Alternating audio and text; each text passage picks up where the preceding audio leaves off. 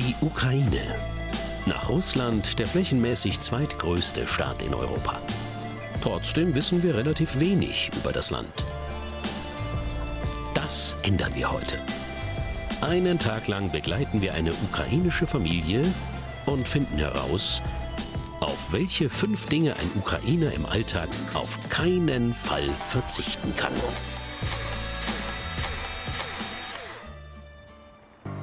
Kiew, die Hauptstadt der Ukraine. Knapp drei Millionen Menschen leben hier. Wir besuchen Familie Schurin zu Hause. Guten Morgen. Willkommen in der Ukraine. Es ist Sonntag. Studentin Susanna startet den Tag zusammen mit ihrer Familie. Das sind Bruder Danja, Vater Sergei und Mutter Natalia. Besonders wichtig ein ausgiebiges Frühstück. Neben Vareniki mit fleischgefüllten Teigtaschen gibt es Sapikanka, eine Art Quarkauflauf. Sapikanka ist das traditionelle Sonntagsfrühstück. Nach dem Frühstück macht sich Susanna auf den Weg in die Stadt zum Shopping. In der Ukraine haben die Geschäfte sieben Tage die Woche geöffnet. Viele Ukrainer nutzen den Sonntag zum Einkaufen. Auf dem Weg stoßen wir gleich auf das erste Ding, auf das Ukrainer auf keinen Fall verzichten können. Die Marschrukti, ganz spezielle Buslinien. Ich will den Bus nehmen, ohne zur Haltestelle zu laufen. Das funktioniert auch so. Und tatsächlich, der Bus hält auf Susannas Winken hin einfach am Straßenrand, auch ohne Haltestelle. Bezahlen muss Susanna direkt beim Fahrer umgerechnet 25 Cent. Dafür kann sie so weit fahren, wie sie möchte. Der Name Marschrukti stammt übrigens vom deutschen Wort Marschroute ab. Marschrukti sind das Verkehrsmittel in der Ukraine. Ihr großer Vorteil gegenüber normalen Bussen und Straßenbahnen? Die Marschrukti haben zwar auch eine festgelegte Route, aber man kann sie fast überall anhalten. Super praktisch. Allein in der Hauptstadt gibt es 150 Linien. Rund 40 Prozent der Kiewer nutzen die Marschrukti täglich. Aber die Beliebtheit hat auch einen Nachteil. Die Busse sind meist gnadenlos überfüllt. Wir haben Glück, dass heute Wochenende ist. Unter der Woche wäre es unmöglich, einen Platz zu bekommen. Bemerkenswert, beim Fahrpreis schummelt keiner. Kommt man zum Zahlen nicht mehr nach vorn durch, wird das Geld einfach durch den Bus gereicht. Und die Marschrukti sind nicht die einzige Besonderheit in Sachen Verkehr. Wer in der Ukraine seine Strafzettel innerhalb von 10 Tagen bezahlt, bekommt satte 50% Rabatt. Ein System, das 2020 eingeführt wurde, um die schlechte Zahlungsmoral der Ukrainer zu verbessern. Der Bescheid kommt per App aufs Handy und man kann sofort online überweisen. Seitdem zahlen immerhin knapp 80 Prozent der Ukrainer ihre Strafe pünktlich. Doppelt so viele wie zuvor. Studentin Susanna hat inzwischen ihr Ziel erreicht. Wer aussteigen will, muss dem Fahrer Bescheid geben. Hier bitte halten. Sonst kann es passieren, dass der Bus trotz Haltestelle einfach durchfährt. Die Marschrukti sind zwar etwas speziell, aber es ist die beste Möglichkeit, sich in Kiew fortzubewegen. Ihre Shoppingtour führt Susanna zunächst in den Supermarkt. Die Familie ist am Abend eingeladen. Dafür besorgt Susanna noch eine Torte. Und die kauft man in der Ukraine nicht beim Konditor oder Bäcker, sondern aus dem Kühlregal. Es ist schwer, sich zu entscheiden. Ukrainer lieben Süßigkeiten. Dementsprechend riesig ist das Angebot. Susanna entscheidet sich für den Klassiker, die Kiew-Torte. Sie besteht aus Baiser und Buttercreme. Es gibt sie seit über 60 Jahren. Damit kann man nichts falsch machen. Es ist die bekannteste Torte in der Ukraine. Viele nehmen sie sogar als Geschenk ins Ausland mit. Beim Zahlen lernen wir dann das nächste Ding kennen, auf das ein Ukrainer nicht verzichten kann. Der Glückskassenzettel, sozusagen der ukrainische Glückskeks. Damit die Kunden ihre Kassenzettel gleich anschauen und es später keine Reklamationen gibt, hat sich die Supermarktkette etwas einfallen lassen. Es steht immer eine Weissagung drauf. Laut ihrem Kassenzettel hat Susanna diesen Monat eine große Feier zu erwarten. Glaubt sie auch dran? Oh, ich glaube schon dran. Die Zettel, die mir am meisten gefallen, sammle ich sogar. Und damit ist sie nicht allein. Denn die Ukrainer sind sehr abergläubisch. Ich lese die Zettel immer und sammle sie auch. Heute habe ich einen über die Liebe. Nur die Zeit weiß, wie wichtig Liebe im Leben ist. Ich glaube daran. Ich lese sie immer. Ein weiterer positiver Nebeneffekt der Glückskassenzettel.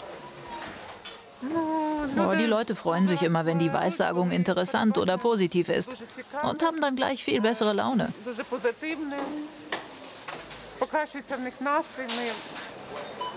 Der Glückskassenzettel. Eine Idee, die bei uns sicher auch gut ankommen würde.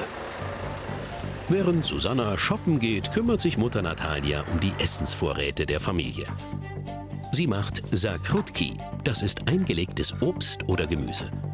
Früher konnte man Gemüse und Obst nur zur Erntezeit kaufen. Damit man auch in der restlichen Zeit etwas davon hatte, vor allem während der harten und langen Winter, wurden die Sachen eingekocht. Eine Tradition, die sich bis heute gehalten hat. Dafür braucht sie dieses Küchengerät.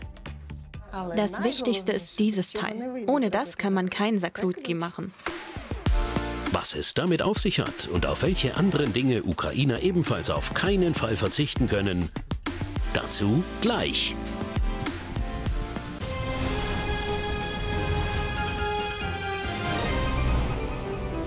Zurück in die Ukraine und zu den fünf Dingen, die jeder Ukrainer im Alltag braucht.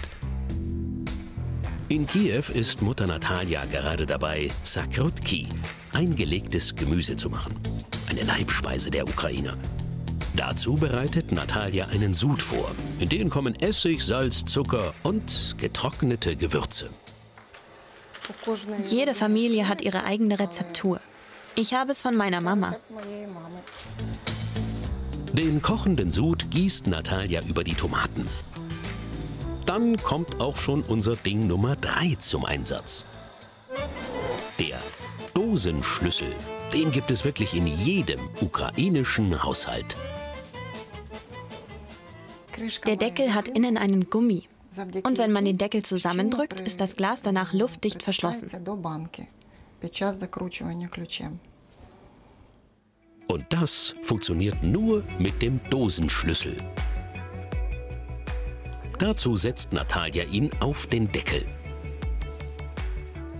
Ich drehe den Schlüssel. Dadurch wird der Deckel von oben und von der Seite zusammengedrückt und das Glas ist wie eine Konservendose verschlossen. Man muss mehrmals rumdrehen. Geschafft. Der Deckel ist zu, jetzt dreht man in die andere Richtung, um den Dosenschlüssel wieder abzunehmen. Zum Schluss prüft Natalia noch, ob der Deckel auch wirklich dicht hält. Deckel und Dosenschlüssel verschließen die Gläser so dicht, als wären sie maschinell abgefüllt. Zum Öffnen der Gläser braucht man dann eine Art Dosenöffner.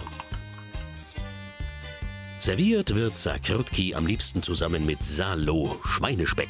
Der Speck gilt übrigens als Grund, weshalb Ukrainer Christen sind.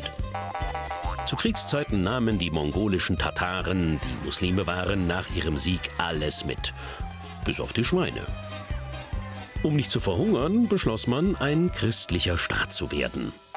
Und so Schwein essen zu dürfen. Am späten Nachmittag machen sich Susanna, ihr Bruder Dania und Papa Sergei auf den Weg zu ihren Bekannten.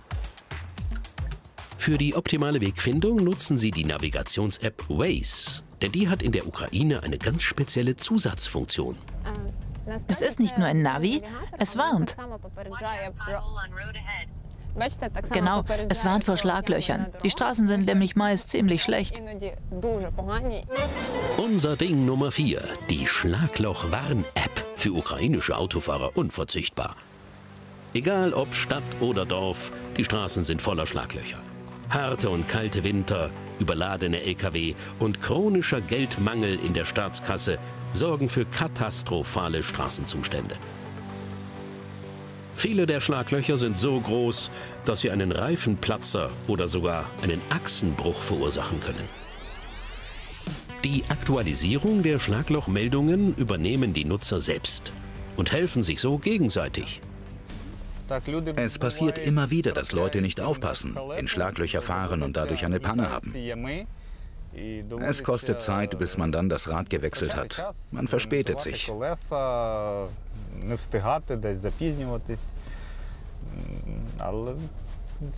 Aber zum Glück haben wir dieses Navi, das uns davor warnt und so vor bösen Überraschungen bewahrt.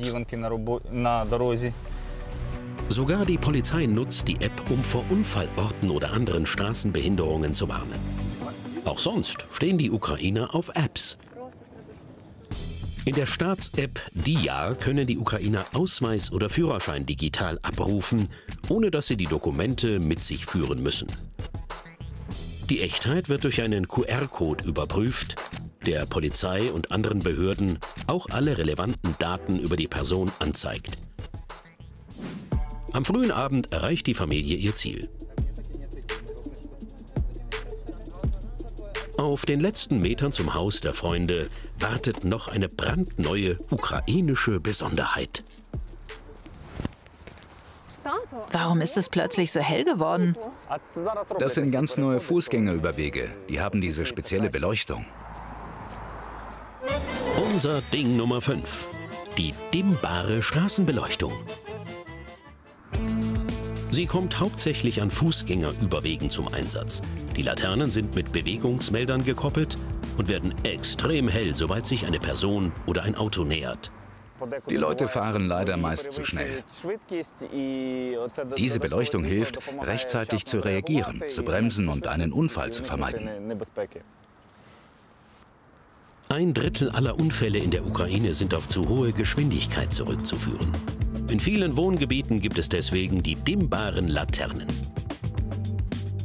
Das spart jede Menge Strom und sorgt gleichzeitig für mehr Sicherheit. Die Schorins genießen jetzt den Abend bei ihren Freunden. Und wir wissen ein bisschen mehr über die Ukraine und ihre Besonderheiten.